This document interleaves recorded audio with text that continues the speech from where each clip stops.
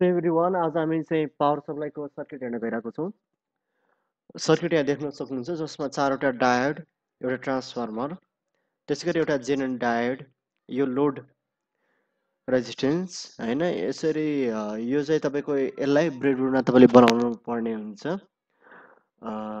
त्यो कसरी बनाउने त्यो हेर्न गइरहेको छौँ। सो सुरुमा तपाईँले ब्रेडबोर्ड लग्नुहोस् ब्रेडबोर्ड लगिसकेपछि डायोडलाई जसरी देखाएको छ त्यसरी कनेक्ट गर्नुहोस्। यहाँ देख्न सक्नुहुन्छ यो र यो टर्मिनल एउटैमा छ र यो र यो टर्मिनल एउटैमा छ। त्यो गरिसकेपछि त्यसलाई कनेक्ट गर्नुहोस् होइन? कनेक्ट अब हेर्न सक्नुहुन्छ जस्तै कि तपाईँको यसलाई चाहिँ मैले ग्राउन्ड गरिदिएको छु यो पार्टलाई होइन? यो पार्ट पनि त्यसरी ग्राउन्डेड छ। होइन अनि यहाँबाट चाहिँ यहाँ मैले कनेक्ट गरेको छु ओके सो क्यापेसिटरहरू कनेक्ट गर्नुहोस् होइन? रेजिस्टेन्सहरू कनेक्ट गर्नुहोस् जस्तो देखाएको छ त्यसरी। ट्रान्सिस्टर लाग्नुहोस् ट्रान्सिस्टरलाई त्यसरी कनेक्ट गर्नुहोस्। त्यसपछि वायरहरू कनेक्ट गर्नुहोस् है? वायरहरू कनेक्ट गरिसकेपछि जेनर डायटको पालो आयो। जेनर डायटलाई कनेक्ट गर्नुहोस्। ग्राउन्ड गर्नुहोस्। र भ्यालु कति कति राख्ने हो? रेजिस्टेन्सको जेनर डायटको त्यो यहाँ देखाइएको छ। त्यो राख्नुहोस्।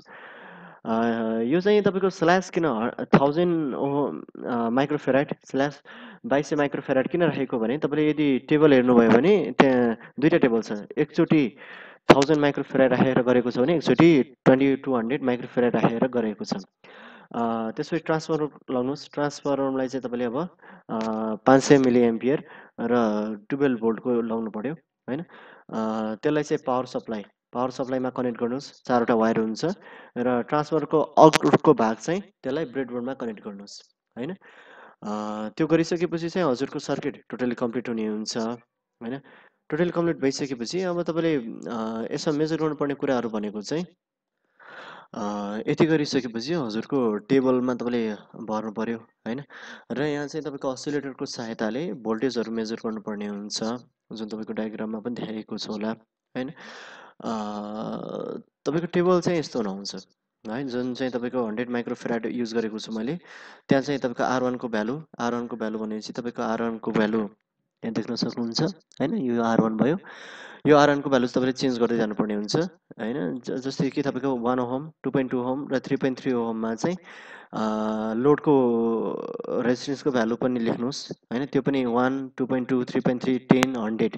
भनेपछि पाँचवटा कन्जिक्युटिभली तपाईँको वान होम राख्दाखेरि पाँचचोटि तपाईँले लोड रेजिस्टेन्स चेन्ज गरेर हेर्नुहोस्। त्यसको output voltage ripple voltage DC voltage कति आउँछ? At point A at point B not. त्यो मेजर गर्नुहोस् होइन। त्यो मेजर गरिसकेपछि त्यो तपाईँले टेबल राख्नुहोस् एट पोइन्ट ए भनेपछि एउटा यता मेजर गर्नु पऱ्यो होइन? एउटा चाहिँ भिनट भनेपछि यो एउटा आउटपुटमा मेजर गर्नु पऱ्यो दुइटा भोल्टेज मेजर गर्नुहोस्। यो चाहिँ तपाईँको आउटपुट हो। तपाईँले असिलेटरले के गर्नुहोस् भनेपछि एउटा ग्राउन्ड गर्नुहोस् वायर एउटा वायर ल्याएर यता कतै यो लाइनमा चाहिँ कनेक्ट गर्नुहोस्। त्यसरी ए पोइन्ट हाम्रो कुन भयो? ए पोइन्ट यो हो।